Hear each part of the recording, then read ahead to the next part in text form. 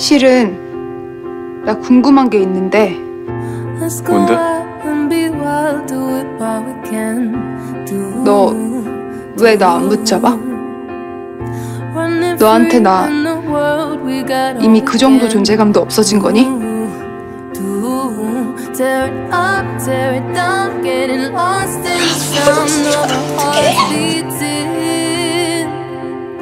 감봉 선생 오셨다는데 들었냐?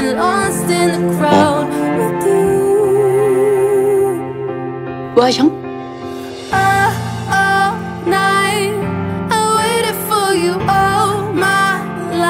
나 갔다 와도 되지? 응, 그럼.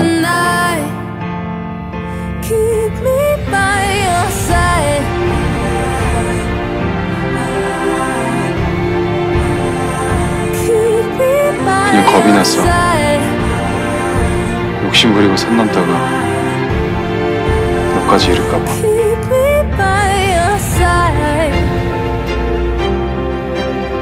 뭐냐 너? 선은 지금 내가 넘고 있는 중인데 눈치 못 챘냐?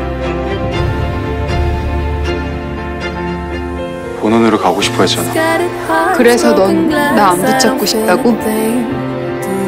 나중에 후회하면 어쩌려고. 그럼 뭐 네가 알려준 그거 그거 하지 뭐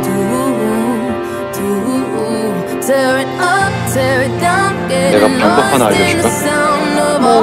네 머릿속을 한 방에 해체시키는 방. 내가 알려준 거. 리셋 내가 방법 다시 알려줘.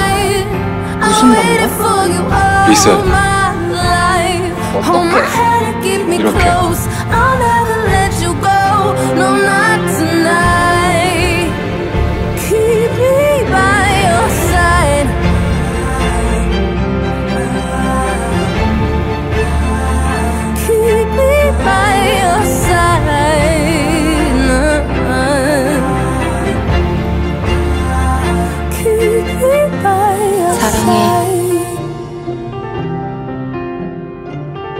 사랑해.